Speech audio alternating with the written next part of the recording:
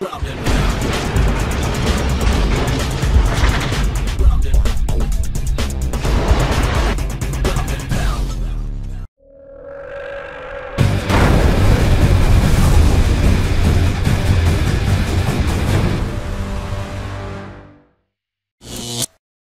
Ground and Pound TV, Marc Bergmann hier in der Rotax-Halle in Wels zur Mixed Fight Night 4. Und bei mir steht nun die erste Gürtelgewinnerin des heutigen Abends. Elke Beinwachs hat den ISKA-Titel Österreichs gewonnen im K1. Äh, ja, nach einem harten, harten Kampf waren fünf heftige Runden, muss man sagen. Habt euch da auf jeden Fall beide nichts geschenkt. Jetzt hast du hier einen schönen Gürtel auf der Schulter hängen. Wie fühlt sich denn jetzt erstmal?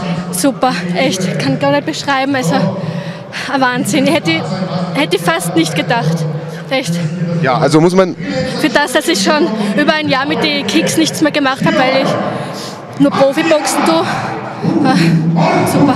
Ich wollte gerade sagen, du kommst aus dem Profiboxbereich, deine Gegnerin ähm, ist eigentlich eine, eine, Kickboxerin, also macht das die ganze Zeit schon. Sie hat am Anfang ein bisschen schwer in den Kampf gefunden, da hast du wirklich wichtige Punkte sammeln können. Zum Schluss ist sie aber noch mal heftig gekommen. Äh, Ab der dritten Runde ist sie schön stark geworden.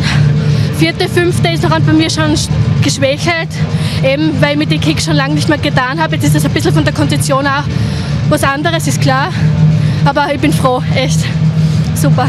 Sieht man dir an, auf jeden Fall herzlichen Glückwunsch. Ähm, jetzt waren nicht nur die Kicks ein bisschen ungewohnt, sondern die ganze Veranstaltung findet heute in einem Käfig statt. Das ist jetzt für eine Boxerin oder auch für eine Kickboxerin natürlich auch immer eine recht ungewohnte Sache. Man hat nicht wie in einem Ring viele Ecken, in denen man äh, die Gegnerin stellen kann. Wie groß war die Umstellung denn? Ähm, war das eine Schwierigkeit heute für dich in dem Käfig zu kämpfen oder war es okay?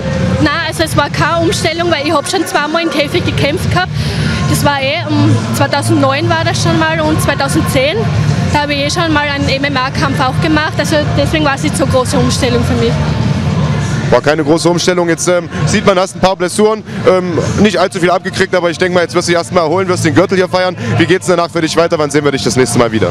Ich hoffe am 20.04. in Gallnerkirchen, da ist wieder Profibox und ich hoffe, dass ich da wieder dabei bin.